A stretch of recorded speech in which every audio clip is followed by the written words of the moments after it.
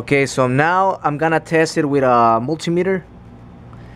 So I have the negative cable all the way to the positive terminal. And I have the the positive cable which I'm gonna plug it in here and watch the reading.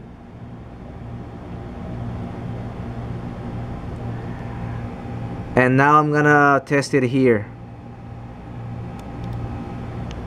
watch the reading. Slightly different. I don't know why.